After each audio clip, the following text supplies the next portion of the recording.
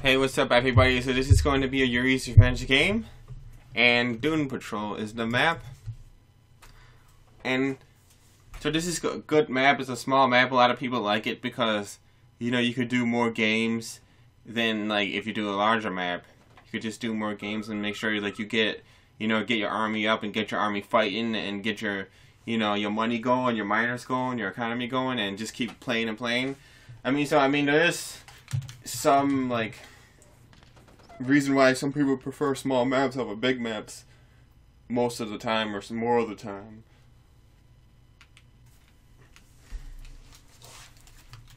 Anyway, you see rival on the left, uh, allied player, he has two GIs.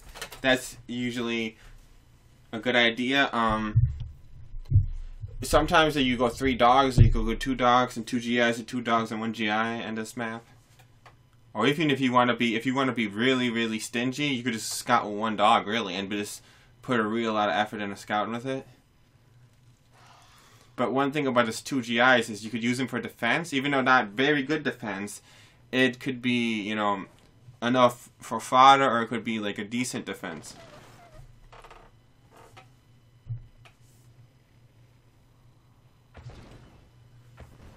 So you see the um Allies is, I mean, the Soviet is starting to attack already. Oh, watch this. I think he could, yep. Because the drone actually um stops moving for a second after you, um, after the um, chrono miner mines back. Oh, look at that. See, when, when you, um, with the IFVs, you're not supposed to wrestle with the Rhino tanks when you have the IFVs, because the IFVs are going to lose every time. Oh, and he's still doing it. His GIs, I said they're not very good defense, but they can be a good defense, especially if they absorb damage from the Rhino tanks.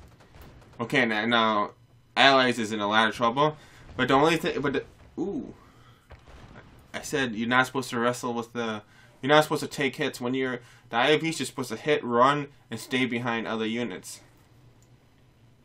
And if you hit, run, hit, run, you could actually make a defense where it could delay the game to where allies get stronger, builds up an air defense, or builds up tech after the lab or something like that. Oh, wow. See, and that's another thing about LA's build. He has so many miners. Almost had too many miners. One of them died, and he's still not in super bad shape, but he is under heavy attack. He might... He could possibly lose the game if he loses a second miner.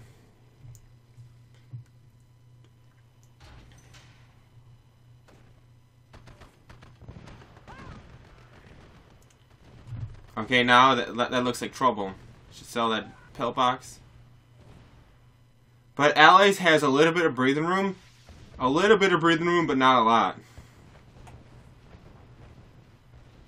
Oh, that miner. Why isn't he controlling his miners? He's... Oh, he lost two miners. Is that game? Is that good game or not?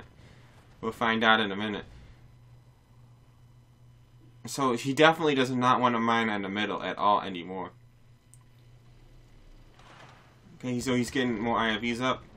Whoa, really bad really point. Come on, man. What are you doing? So,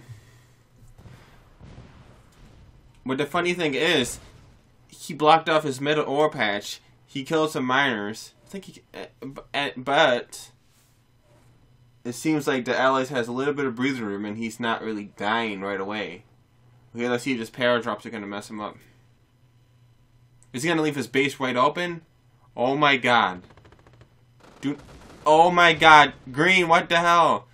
Yeah, Green wasn't doing really bad. I mean, he didn't kill him, but I mean, he had him. He had him really pressured hard. Dude, get your miners over. He has to get his miners over. to say refinery. Try to run him over if you can. Oh, don't dump. Don't dump. Ah, if if you dump when you're when you're trying to shoot, the miner actually can't shoot when it's dumping. The miner actually can't shoot for like two seconds when it's dumping. So he should have tried to run over the Elite GI. So it looks like the green is screwed unless he could really, really do some major damage. Oh, and look, a Battle Fortress. Does not look good for the green now. Especially after I seen that Battle Fortress. I'm like, damn. How is he going to beat that with four tanks?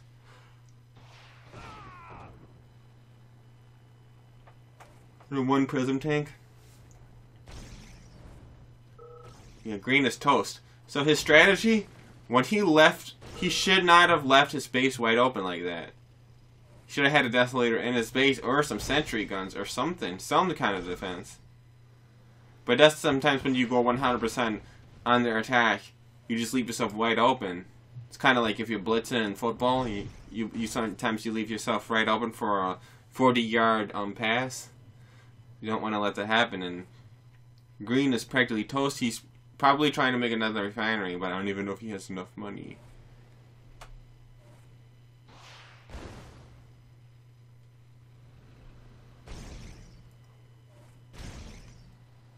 Just a better force is alone to kill his whole army.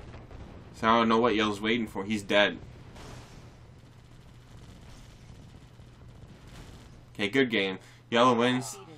Watch out with a paradrop. All infantry units will now auto heal. Unit ready. Now here's something you do not want to let happen to you. Unit ready.